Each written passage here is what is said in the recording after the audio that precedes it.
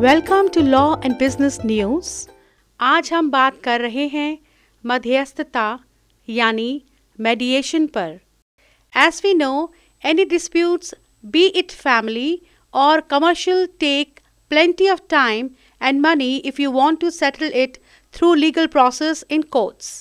However, with mediation these disputes can be settled even free and within a very short span of time.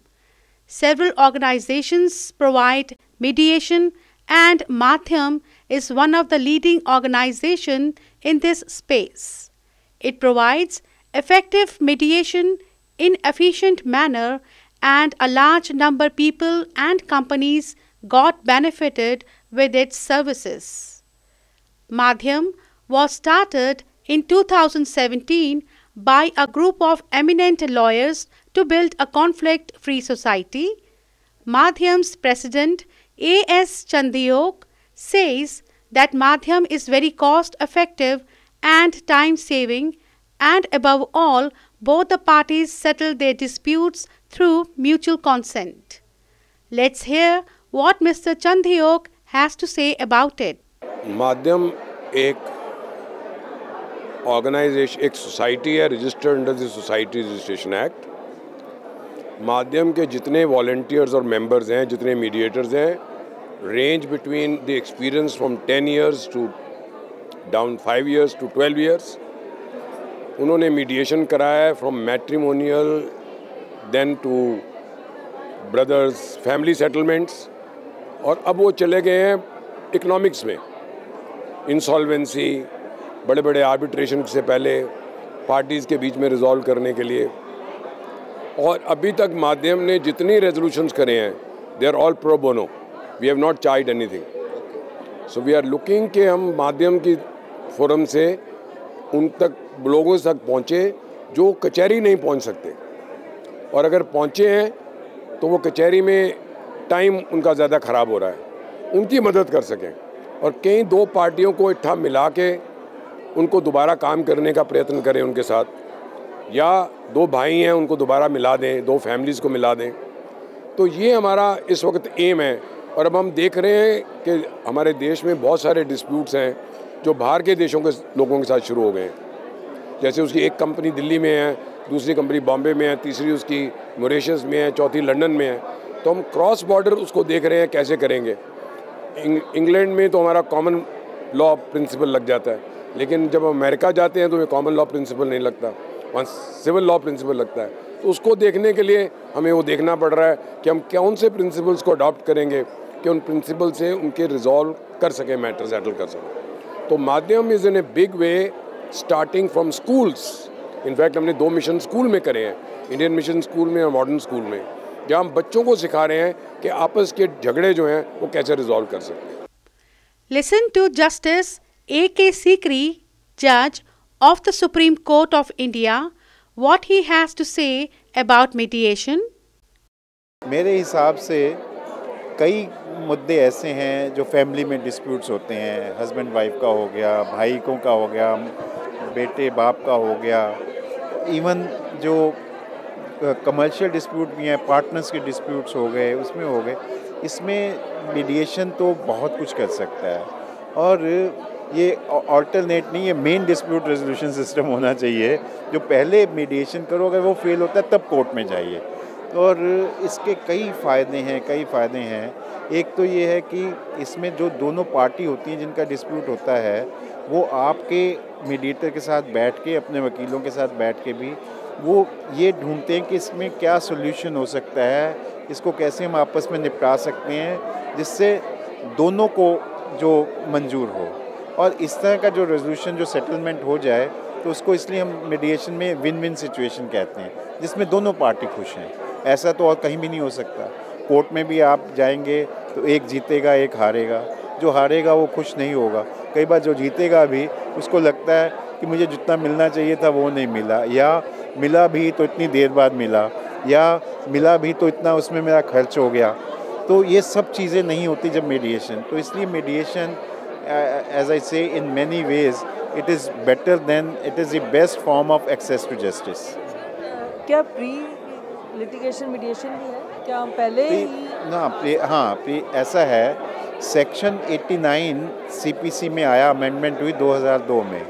उसके हिसाब से section 89 में कि court में जो केस होता है तो जज उसको मीडिएटर के भेज सकता है। तो उसकी वजह से सब समझते हैं कि जब कोर्ट में केस आ गया, तभी वो मीडिएशन में जा सकता है। पर ऐसा नहीं है। सेक्शन 89 तो इसलिए आया कि जो कोर्ट में भी केस पेंडिंग है, वो भी मीडिएशन में जा सके। उसका मतलब ये नहीं है कि जो कोर्ट के कोर्ट में जाने से पहले मीडिएशन में नहीं जा सकते। और अब तो ये चीज़ बहुत शुरू हो चुकी है। और कई तो अब गवर्नमेंट ने भी रियलाइज़ किया है पार्लियामेंट ने।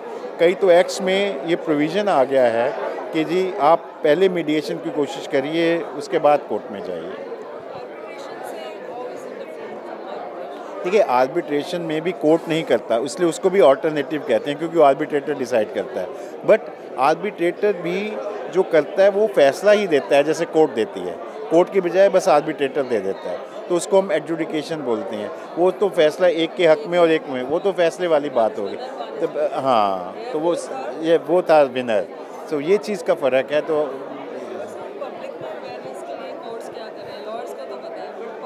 नहीं पब्लिक में नहीं ऐसा है अब काफ़ी शुरू हो गया है।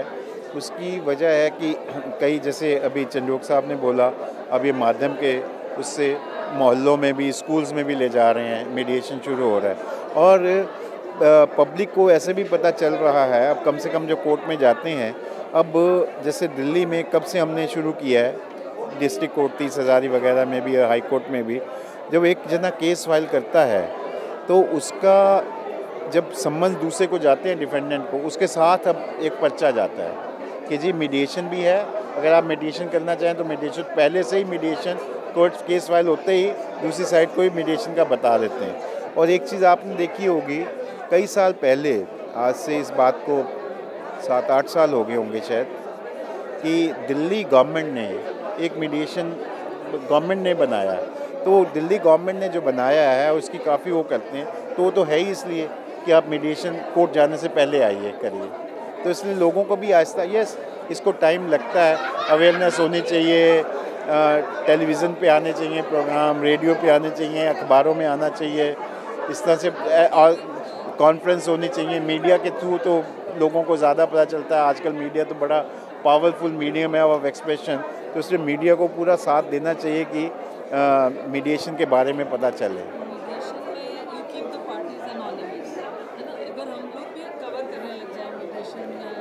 नहीं नहीं पार्टी तो एनोनिमस रखेंगे पर मीडिएशन एक अच्छी चीज़ है ये तो लोगों को बता सकते हैं ना। और और और और, और, और हाँ सम पीपल आर रेडी मैंने देखा वो they can tell they can come they can narrate their stories और अगर आप उसके बावजूद भी आप नहीं भी बताना चाहते उनके नाम पर उनके साथ क्या हुआ, वो कैसे सेटलमेंट हुआ और कितना अच्छा सेटलमेंट हुआ, ये तो बता सकते हैं। जैसे मैं आपको एक केस बताऊँ, मैंने एक दिल्ली में ऐसा केस हुआ, एक पंजाब में मैं चीफ जस्टिस था, तब भी वहाँ सुना। और दोनों एक जैसे केस है हस्बैंड वाइफ में डिवोर्स हो गया।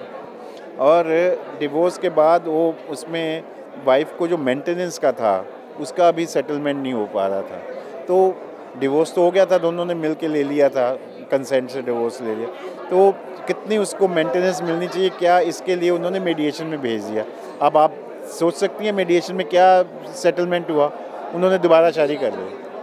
उन्होंने अपना रियलाइज़ किया कि हमें इस तरह से नहीं लेना चाहिए था। आजकल यंगस्टर्स हैं, नई शादी हुई, दो साल के अंदर, वो बाद में रियलाइज़ किया, नहीं, हम, हमारी तो लव मैरिज थी, हम एक दूसरे इतना प्यार करते हैं।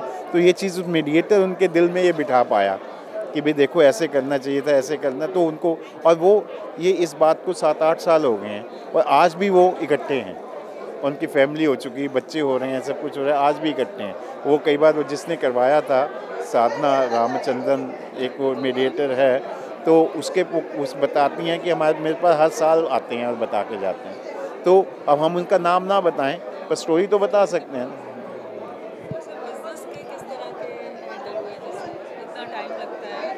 नो मेरे पास तो बहुत सक्सेस स्टोरी बिज़नेस भी है, बताने में बहुत टाइम लग जाएगा बट टाइम लग जाएगा, कोई बात नहीं। और मैंने अपने आर्टिकल्स में, अपने उसमें काफ़ी लिखी हैं इस तरह की। और सारी स्टोरीज़ के बारे में लिखा है। हाँ। ये ये it will help it will help in ease of doing business मैं तो इसको कहता हूँ कि मीडिएशन को हर जगह इंट्रोड्यूस करना चाहिए।